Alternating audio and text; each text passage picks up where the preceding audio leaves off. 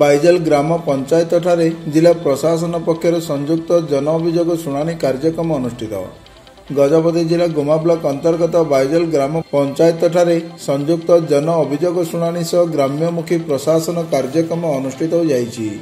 ଏହି ଅଭିଯୋଗ ଶୁଣାଣିରେ ଗଜପତି ଜିଲ୍ଲାପାଳ ଶ୍ରୀ ଲିଙ୍ଗରାଜ ପଣ୍ଡା ଗଜପତି ଆରକ୍ଷୀ ଅଧୀକ୍ଷକ ସ୍ୱାତି ଏସ୍ କୁମାର ବ୍ଲକ ଅଧ୍ୟକ୍ଷ ସୁନମୀ ମଣ୍ଡଲ ଗୋଷ୍ଠୀ ଉନ୍ନୟନ ଅଧିକାରୀ ଅନୁପ ଅଭିଷେକ ବେହେରା ଜିଲ୍ଲା ପରିଷଦ ସଭ୍ୟ ରେଣୁକା ପାତ୍ର ସରପଞ୍ଚ ନମ ଗମାଙ୍ଗ ପ୍ରମୁଖ ମଞ୍ଚ ଆସିନଥିଲେ ଏହି ଅଭିଯୋଗ ଶୁଣାଣିରେ ସର୍ବମୋଟ ଏକାନବେ ଗୋଟି ଅଭିଯୋଗ ଆସିଥିବା ବେଳେ ସତଚାଳିଶ ଗୋଟି ଅଭିଯୋଗ ଜିଲ୍ଲା ପ୍ରଶାସନ ପକ୍ଷରୁ ତୁରନ୍ତ ସମାଧାନ କରାଯାଇଥିବା ନେଇ ସୂଚନା ରହିଛି।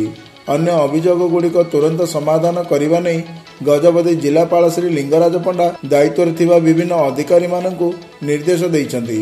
ଏହି ଅଭିଯୋଗ ଶୁଣାଣିରେ ପ୍ରକୃତ ହିତାଧିକାରୀଙ୍କୁ ଜଙ୍ଗଲ ଜମି ପଟ୍ଟା ବଣ୍ଟନ କରାଯାଇଥିବା ନେଇ ସୂଚନା ରହିଛି। ଏହି କାର୍ଯ୍ୟକ୍ରମରେ ଜନପ୍ରତିନିଧି ବ୍ଲକ ସ୍ତରୀୟ ଅଧିକାରୀ ଜିଲ୍ଲାସ୍ତରୀୟ ଅଧିକାରୀ ଓ ଜନସାଧାରଣ ଉପସ୍ଥିତ ଥିଲେ।